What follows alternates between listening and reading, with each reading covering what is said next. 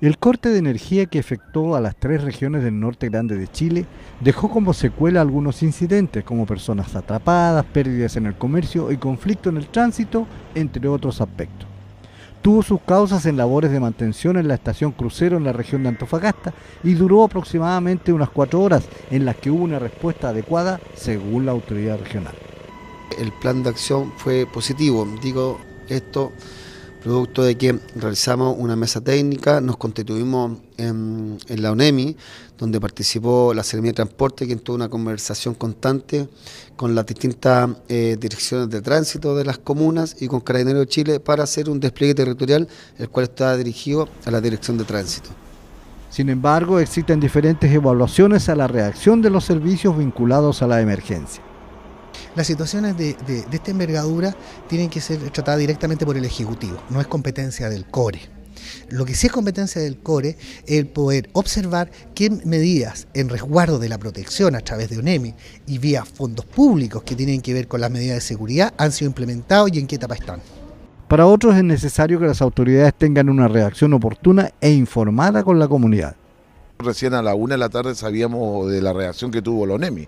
Entonces yo creo que ahí debe ser eh, pertinente y oportuna la información que salga del organismo y del propio intendente, ¿no es cierto?, a fin de mantener la calma y la tranquilidad de la población, que eso es lo más importante que tenemos que ahora considerar para los efectos de, tener esta tranquilidad que merecemos porque venimos saliendo de dos, tres terremotos, apagones, qué sé yo, entonces la población eh, se, se complica.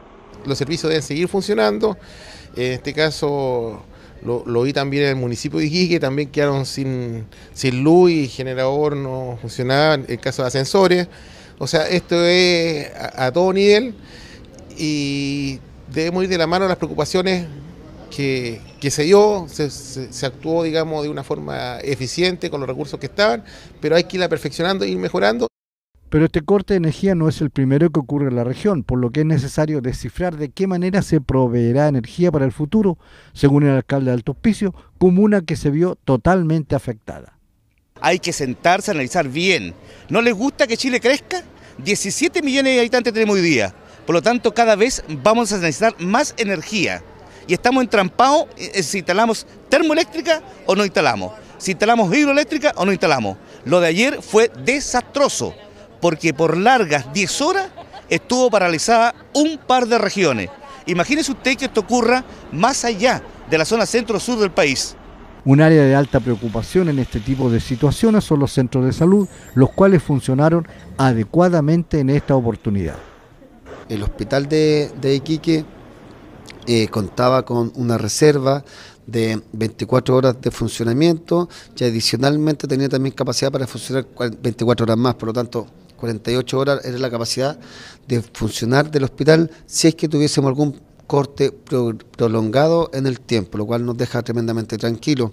De acuerdo a antecedentes recogidos en la ciudad, carabineros y bomberos activaron sus fuerzas de tarea, las que solo debieron atender situaciones menores.